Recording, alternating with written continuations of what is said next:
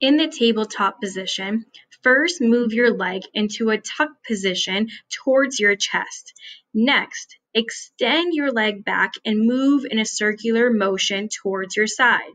Alternate both sides.